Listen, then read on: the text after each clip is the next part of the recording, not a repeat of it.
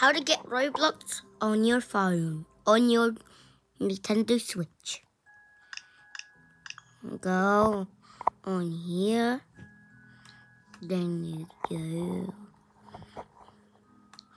go in settings, go all down, you go down, down, internet, internet settings, searching for networks.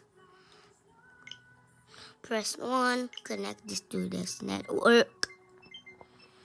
Only if you have a switch, you can do it.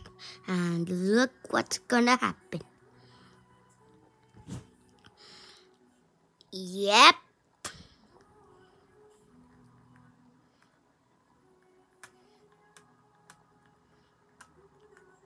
You go after unused links, go down.